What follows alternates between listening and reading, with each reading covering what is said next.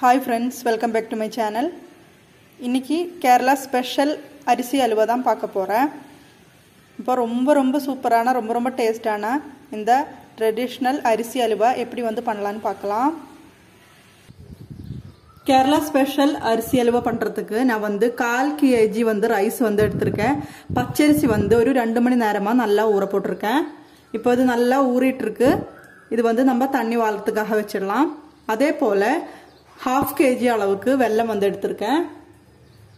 அப்புறமா ரெண்டு medium size தேங்காய். இந்த ரெண்டு தேங்காயும் வந்து திருவி வந்து எடுத்துக்கணும். இப்போது அரிசி வந்து தண்ணி வளர்த்துக்காக வச்சுருக்கேன். இந்த டைமில் நம்ம வெல்லம் வந்து பாகு காய்ச்சி வச்சிடலாம். இப்போது வெல்லம் வந்து நல்லா மெல்ட் ஆயிருக்கு. நம்ம வந்து ஆஃப் பண்ணி வச்சுக்கலாம். தேங்காவும் வந்து திருவி வந்து எடுத்திருக்கேன். ரெண்டு தேங்காய் ஃபுல்லாக வந்து திருவி இருக்க பாருங்க. இதில் வந்து ஒரு அரை கிளாஸ் வந்து தண்ணி வந்து ஊற்றிக்கலாம் அப்புறம் நல்லா புழிஞ்சு இதுலேருந்து ஒன்றாவது தேங்காய் பால் நம்ம எடுத்துடலாம். இப்போ பாருங்க நம்ம ஒன்றாவது தேங்காய் பால் வந்து நல்லா புழிஞ்சு வந்து எடுத்திருக்கேன். இது வந்து வடிகட்டி இந்த பக்கமாக வச்சுக்கலாம்.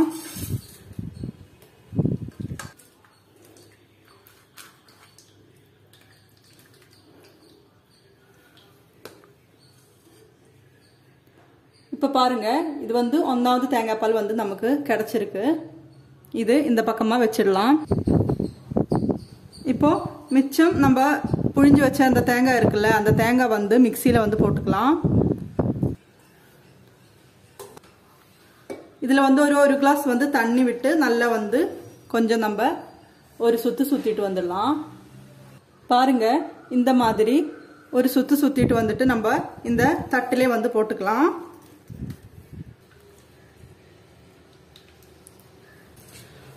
இப்போ பாருங்க ரெண்டாவது தேங்காய் பாலும் வந்து கிடச்சிருக்கு. இது வந்து ஒன்றாவது தேங்காய் பால். ஒன்றாவது தேங்காய் பாலை நம்ம ஒரு அரை டீஸ்பூன் அளவுக்கு ஏலக்காய் பவுடர் வந்து போட்டு வந்து வச்சுக்கலாம். அரிசி வந்து நம்ம வந்து தண்ணி வாழறதுக்காக வச்சுருந்தோம்ல இப்போ அரிசி இந்த மாதிரி மிக்சி ஜாரில் போட்டு நல்லா நைஸ் பவுடராக அரைச்சிக்க வேண்டிதான் இப்போது அரிசி வந்து இதை போல் நல்லா பவுடர் பண்ணியிருக்கேன். இது வந்து நம்ம எந்த பாத்திரத்தில் வந்து அல்வா பண்ண போகிறோமோ அந்த பாத்திரத்தில் இந்த அரிசி மாவு வந்து போட்டுக்கலாம். அடி கனமான ஒரு பாத்திரம் வந்து எடுத்துக்கோங்க. அதுதான் நல்லாயிருக்கும் இப்போது அரிசி வந்து போட்டாச்சு. இதிலே வந்து நம்ம செஞ்சு வச்சுருக்கிற ரெண்டாவது தேங்காய் பால் இருக்குல்ல அது வந்து ஊற்றிக்கலாம் ஊற்றி நல்லா வந்து மிக்ஸ் பண்ணி விட்டுக்கோங்க. இதிலே வந்து நம்ம வெல்லம் பாகு காய்ச்சி வச்சுருக்கோம்ல அது வந்து வடிகட்டி ஊற்றிக்கலாம் நல்லா மிக்ஸ் பண்ணிக்கோங்க. மிக்ஸ் பண்ண பிறகு நம்ம வந்து அடுப்பு வந்து பற்ற வச்சிடலாம். இப்போ நான் வந்து அடுப்பு வந்து பற்ற வைக்க போகிறேன் இப்போ வந்து நம்ம கிண்டிகிட்டே இருக்கணும். கைவிடாமல் நம்ம வந்து இந்த அல்வா வந்து கிண்டிகிட்டே இருக்கலாம்.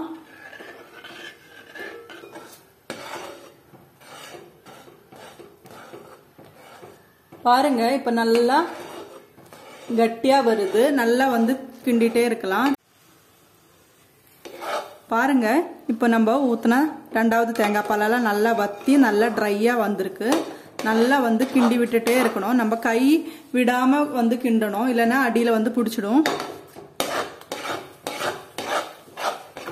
இந்த மாதிரி நல்லா வந்து கிண்டிகிட்டே இருக்கலாம். இப்போது தேங்காய் பாலெல்லாம் நல்லா வத்தியாச்சு. இந்த டைமில் நம்ம எடுத்து வச்சிருக்கிற ஒன்றாவது தேங்காய் பால் வந்து ஊற்றிடலாம் இதில் வந்து ஏலக்காய் பவுடர் கூட போட்டு வச்சுருக்கேன். இது வந்து ஊற்றிடலாம் இப்போது மெதுவாக வந்து மிக்ஸ் பண்ணி நல்லா கிண்டணும்.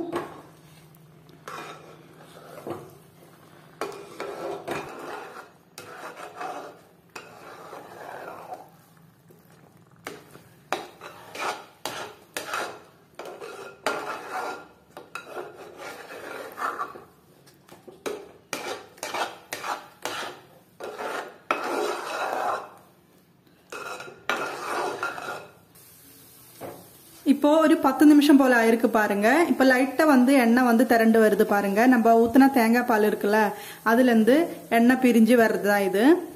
எக்ஸ்ட்ரா நம்ம எந்த ஆயிலோ இல்லைன்னா நெய்யோ வந்து ஊத்தல. லாஸ்டா வேணா ஒரு ஒன் டீஸ்பூன் வந்து நெய் வந்து விட்டுக்கலாம்.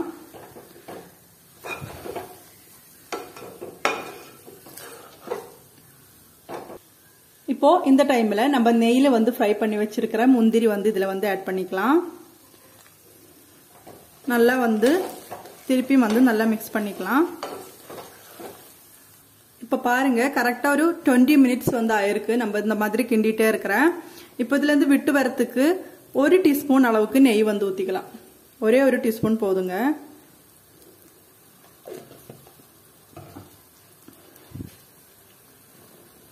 இப்போ நல்லா கிண்டி விட்டுட்டே இருக்கலாம். இப்போ வந்து பாத்திரத்துலேருந்து விட்டு வரும்போது நல்லா ஈஸியாக இருக்கும். இந்த நெய் விடும்போது ஈஸியாக வந்து இந்த பாத்திரத்துல இருந்தெல்லாம் விட்டு சூப்பரா வந்துடும்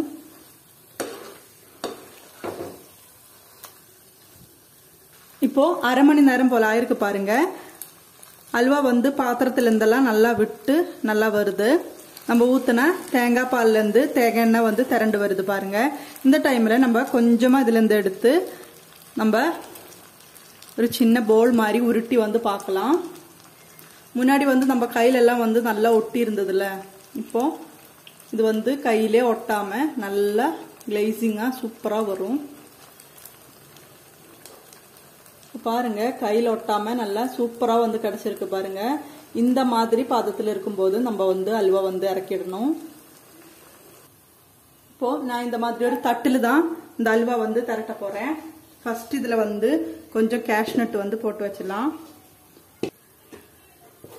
அப்புறமா ஒரு ஒன் டீஸ்பூன் அளவுக்கு எள்ளு வந்து இப்படி ஸ்ப்ரிங்கிள் பண்ணிடலாம். நான் வந்து எள்ளு எள்ளு வந்து வறுத்து வந்து எடுத்திருக்கேன். வெள்ளை கலர் எள்ளு தான் எடுத்திருக்கேன். இந்த மாதிரி ஸ்ப்ரிங்கிள் பண்ணி விட்டுடலாம்.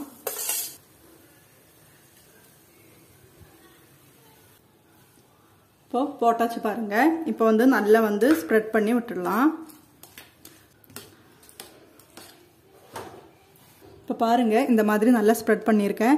இப்போ நல்லா சூடாரட்டும் சூடாறின பிறகு நம்ம வந்து இதுலேருந்து பிளேட்லேருந்து எடுத்துடலாம். அல்வா வந்து நல்லா சூடாறு இருக்குது நம்ம வந்து எடுத்துடலாம். இந்த மாதிரி கத்தி இப்படி விட்டு இது வந்து இப்படி திருப்பி விட்டுடலாம். அப்புறமா நம்ம இந்த மாதிரி பிளேட் இருந்தால் அந்த பிளேட்டில் அப்படியே வந்து கமுத்திடலாம். அப்படியே வந்து இந்த மாதிரி கமுத்தி லைட்டாக வந்து ஓப்பன் பண்ணிக்கலாம். பாருங்க சூப்பராக கேரளா ஸ்டைலில் ஹல்வா வந்து ரெடி ஆகிடுச்சு கண்டிப்பாக வந்து ட்ரை பண்ணி பாருங்கள் ட்ரை பண்ணி பார்த்துட்டு எப்படி இருக்குன்னு சொல்லுங்கள் இந்த வீடியோ வந்து உங்களுக்கு பிடிச்சிருந்தா லைக் கமெண்ட் ஷேர் பண்ணுங்கள் என்னோட வீடியோ வந்து ஃபர்ஸ்ட் டைம் பார்க்குறதா இருந்தால் மறக்காமல் வந்து சப்ஸ்கிரைப் பண்ணிக்கோங்க. இனி நெக்ஸ்ட்டு இன்னொரு வீடியோவில் சந்திக்கும் வரைக்கும் பாய்